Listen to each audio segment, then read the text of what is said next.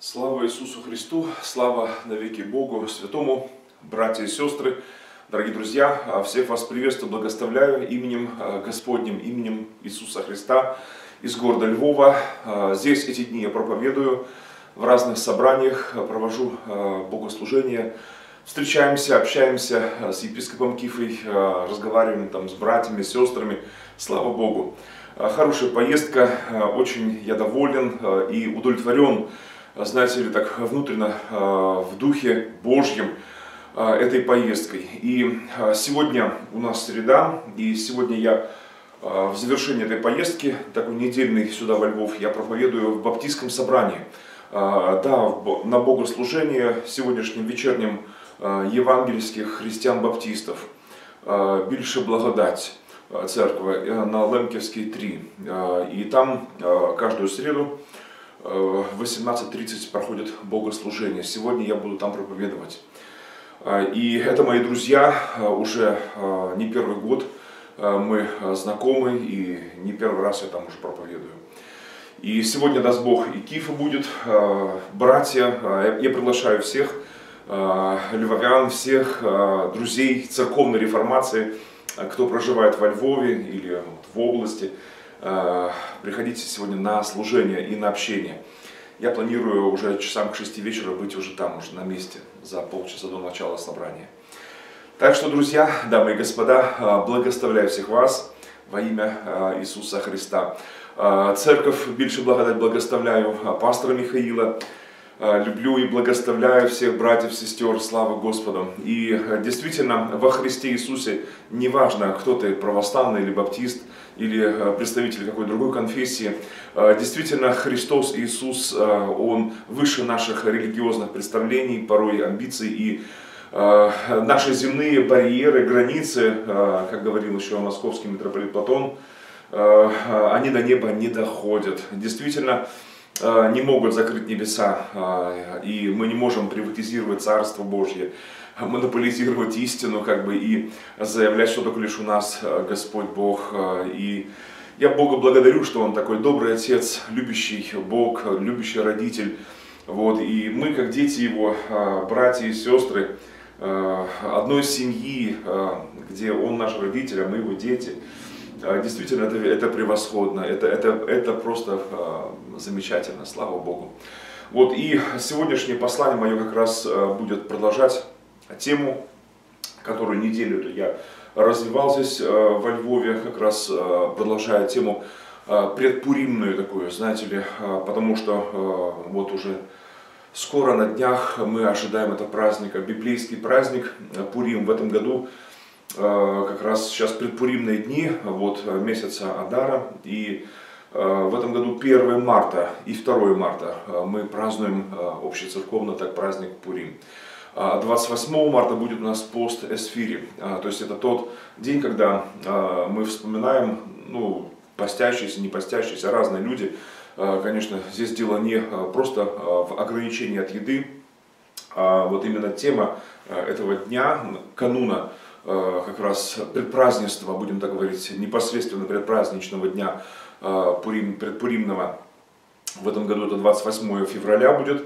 Э, это как раз тема вот, э, воспоминания того поста и молитвы, которую э, объединил тогда Мордыха и Свирь и весь народ Божий в такой пламенной молитве к Творцу, когда действительно люди выжелали этой свободы, избавления, ну как в Украине говорят, знаете ли, як тревога, так до Бога. И действительно народ израильский в то время переживал огромнейший, страшнейший кризис – это был канун Холокоста, это было а, не просто даже Шоа, это было тотальное, даже у Гитлера и у Сталина, и у всех тиранов вместе взятых, знаете ли, не было таких шансов, как у Амана, а, значит, тогда уничтожить весь народ фактически, вообще полностью искоренить весь Божий народ. Это было страшное, знаете ли, э, значит, эм, злодеяние. И Бога благодарю, э, и все любящие Господа, все чтущие э, Божье Слово, как действительно святыню, перечитывая Библию, перечитывая А ведь в Библии целая книга посвящена этому чуду, этому событию божественному. Книга из Сфири, перечитывая ее, наполняются сердца нашей благодарностью Богу за Его избавление, Его силу избавления, Его благодать, Его милость, Его любовь к роду человеческому. И, дамы и господа, братья и сестры, вот 28 числа будет у нас такое общецерковное воспоминание вот этого поста и молитвы, покаяния, примирения. Это очень важный день, считаю. Я планирую в течение 28 февраля на протяжении всего дня проводить такие прямые почасовые включения с чтением книги из Сфири. Будем читать ее, я буду читать на русском языке, будем читать на украинской мовою. И действительно, это будем слушать книгу из Сфири на иврите, на еврейском языке.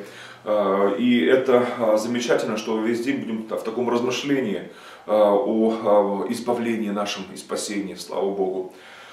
Вот, а эти дни все, включая вот сегодняшнее вечернее собрание, это предпуримные служения наши. Сегодня я буду говорить о Пуримах божественных. Кстати, в воскресенье в церкви Агапа я говорил тоже об этом как раз на богослужении, здесь в воскресном богослужении в Писательническом собрании. А, а вчера здесь в Ременеве был, это село Ременев сейчас, это возле Львова, ну здесь километров 10, наверное, где-то так до, до города. Это пригороды такие, знаете ли, поселки. И вот здесь в Ременеве я, значит, был в библейской школе. Э, значит, э, великое поручение и э, с удовольствием огромным делился с молодежью, ребятами, девчатами, обучающимся в этой библейской школе именно Словом Божьим и из истории христианства делился вот как раз с видением реформации. Это очень, думаю, важно. Слава Богу, потому что Бог готовит новое поколение служителей, священнослужителей и для Украины, и ну, для всего мира планетарно. А, потому что Слово Божье до, до края земли, по всей планете нашей должно а, быть. Слава Богу. Благословляю всех вас, возлюбленные братья и сестры. Огромное спасибо всем за поддержку, молитвенную, а, материальную поддержку. Я передвигаюсь сейчас, вот поездка сюда, приехал Блаблакар, попутной машиной списался. И вот обратно еду тоже Блаблакар, как раз списывался со Львова в Киев к себе, вот как раз нам в церковь буду приехать тоже. Вот, и, и огромное спасибо всем, кто молитвенно и финансово участвует в, этом, в этих поездках моих, в этом служении очень важном. Напоминаю, что с территории Украины, и не только с территории Украины, вообще интернет же, как бы эти границы делают довольно условными наши э, государственные. А, потому что э, можно пополнять э, через интернет номер телефона Киевстар, номер Киевстар, который я включаю, кстати, сейчас он, а, сейчас включен, кстати, включаю при прямых эфирах обычно. А, запишите этот номер, пожалуйста. А, а я уже через новую почту имею возможность а, эти деньги обналичивать значит, и как раз их в служении Господу использовать. И еще, кстати, а, ну да, запишите номер вначале. 096 96 2 66 75. Запомните. А, кстати, и под видео, под всеми тоже есть эти координаты. Запишите еще раз. 096 96 2 66 75. Еще раз. 096, еще раз, 96 2 66 75. А, так вот, а, и а с территории России можете пополнять номер МТС, он там тоже внизу будет дан под этими видео. Вот и, дамы и господа, значит, если вы в Киеве или вообще в Украине, и у вас есть возможность участвовать не только допустим, деньгами, но и значит, материалами, материалами, художественными материалами, потому что мое видение сейчас это мастерская, художественная мастерская, кисти, краски, масляные, холсты, там ткани, нужен прям целый рулон такой прям ткани, желательно такой холщовый такой какой-то, знаете ли, подбортовка или, или холст, или там лен, я не знаю, наверное, так как-то, э, ну, то, что можно грунтовать, э, и использовать для живописи. Э, подрамники, ну, все, что есть, если этюдники, мольберты, ну, все, что есть, значит, у вас, если есть, оно как бы и, может, без дела лежит, допустим, вы этим уже не занимаетесь или еще не, или думаете заниматься, то, пожалуйста, свяжитесь со мной, это очень будет важно для меня лично и, в общем-то, кстати, некоторые свои работы я планирую тоже так вот снимать и выставлять э, в сеть. наверное, даже я попробую вот писать и рисовать как раз, как пленер такой тоже, так вот, в такой записи. И это очень важно, ведь даже есть такая ассоциация, такое, такое содружество христиан-художников здесь, в Украине, в Киеве в частности. Я думаю, во Львове тоже есть христиане-художники, наверняка, потому что здесь очень много христиан, очень много верующих людей, и наверняка есть среди творческой интеллигенции здесь э, мастера.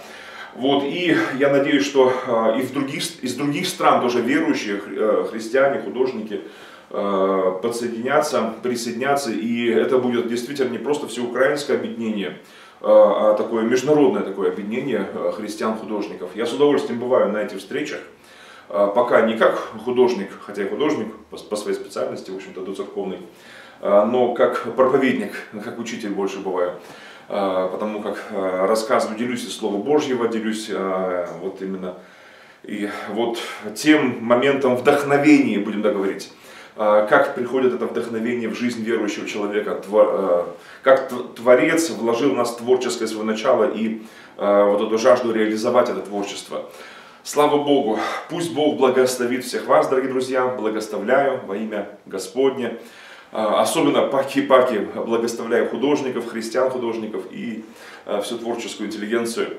Во имя Господа Иисуса Христа благословляю всех вас. Да благословит тебя Господь и сохранит тебя. Да призрит на тебя Господь светлым лицом своим и помилует тебя. Да обратит Господь лицо свое на тебя и даст тебе мир. Во имя Иисуса Христа. Аминь. Ну и по скриптум, братья и сестры, дамы и господа, э, скажу как раз, что э, этот год у нас э, в нашей церкви, реформаторской православной церкви Христа Спасителя, архиепископом, которой я являюсь, он ознаменован как год 70-летия Победы, 70-летия возрождения еврейского государства, образования Израиля. И мы благодарим Бога.